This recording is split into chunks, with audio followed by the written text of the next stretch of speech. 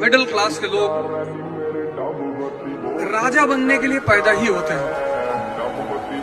ये न्यूटन का चौथा लॉ है।